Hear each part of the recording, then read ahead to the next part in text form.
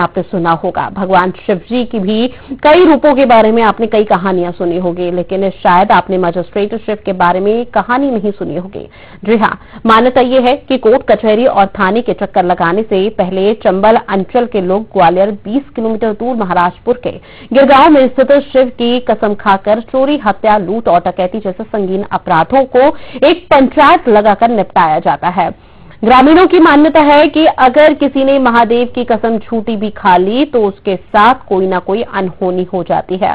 इसलिए शिव मंदिर पर दूर दूर से लोग यहाँ आते हैं। ग्वालियर के गिरगांव के मजिस्ट्रेट महादेव मंदिर में वैसे तो साल भर भक्त मन्नत मांगते मांगते हैं।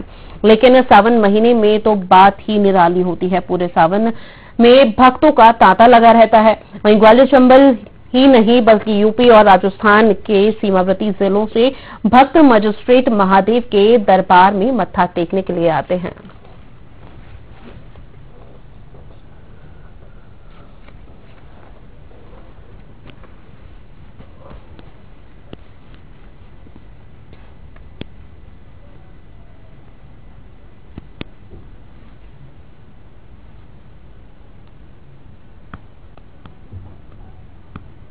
मंदिर का बहुत प्राचीन मंदिर है। और यहाँ पर ये आस्था है कि यहाँ पर बहुत दूर दूर से लोग यानी पूरे चंबल संभाग से चंबल संभाग से बहुत काफ़ी दूर दूर से लोग यहाँ पर आते हैं अपनी मतलब कोई भी मैटर हो चाहे चोरी डकैती या फिर लूटपाट या गाँव में को, कोई भी मतलब पंचायत लेकर आते हैं। जो भी फैसला पहले वो नीचे फैसला सुनाया जाता है उसके बाद ऊपर ले जाते हैं।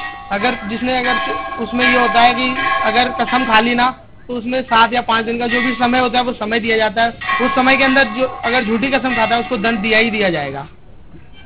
तो यहाँ की ऐसी मान्यता है कि ये कहीं कोई विवाद होता है तो आपस में सुलझ जाता है। उसके लिए क्या है पंचनामा बनाया जाता है यहाँ रजिस्टर पड़ा हुआ है। पंचनामा बनाया जाता है। उस पंचनामे में जो भी फैसला होता है, उसको कोर्ट भी मांग करता है। और दूसरा ये है कि यहाँ झूठी कसम कोई खाता है। वहीं उज्जैन के